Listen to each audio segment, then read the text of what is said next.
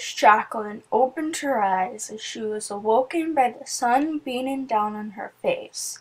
The slender mansion was quiet as usual in the mornings, as she was usually the first one to wake up.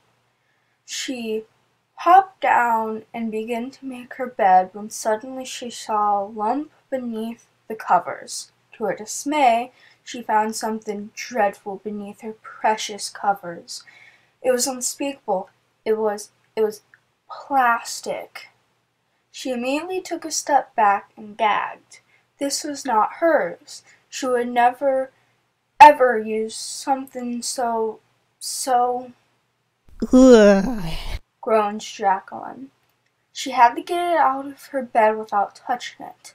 That thing was most definitely not clean, and there was no way she was going to touch it with her hands. Jacqueline went to the dresser and snatched several tissues from the tissue box and smothered them with hand sanitizer. No piece of plastic was going to get its gooey germs on her. Okay, She breathed. let's do this. She approached the bed with her tissues ready, her eyebrows furrowed at the sight. Carefully she lifted the revolting life form off her dirted bed and went out of the room. Slender Woman's going to hear about this, and I will find out who did it. She thought aloud, chuckling. And when I do, I'm going to clean their room until it sparkles. Slender Woman was in the kitchen preparing a heaping breakfast of bacon and eggs for the girls whenever they woke up. The skillet was sizzling and Slender Woman was working to prepare the best breakfast she could. Jacqueline could hear two muffled voices speaking back and forth to each other. So I met this handsome man on the street, and he paid me twenty dollars to come over to his house and give him a little visit. You already told me that last night. oh, that's not the only thing you did last night. Be quiet. Yes, mother. So she wasn't the only one up, it seemed. She entered the kitchen and what she saw made her suspicions rise. This person had to be the culprit. It was Offender woman, Well, howdy do, Jacqueline. said Offender woman in a provocative accent. Long time no see. How have you been? Can it offend Snapped Jacqueline. Slender Woman began to interrupt the fight. Hey, that's no way to talk to your. Jacqueline was in Offender woman's face in a split second. Explain this.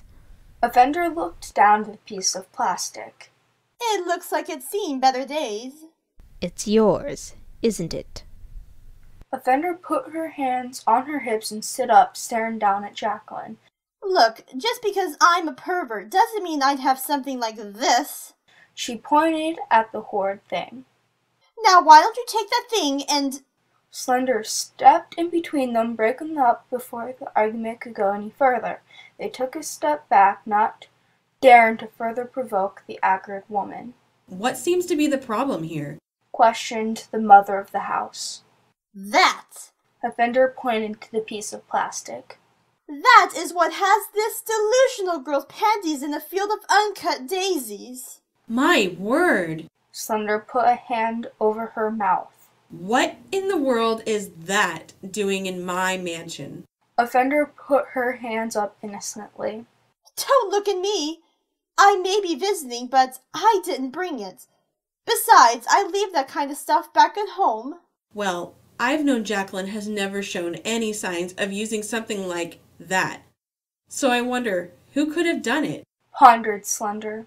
Are you sure it wasn't you, offender? Does it look like it was me? Room went silent, everyone staring at Offender. All right then. If I help you find whoever the hell did this, then will you leave me alone? It would indeed be helpful. Admitted Slender. Fine, fine. Offender snatched the object from Jacqueline. Give me that thing and we'll try to figure out who did this. Till then, stop blaming me for this. Howdy, guys! Thank you for watching Genderbend My CP Please. This is our first project as the new directors, and we're really excited about finally getting off the ground. Let us know you liked it by hitting those like and subscribe buttons, and we'll see you in the next one.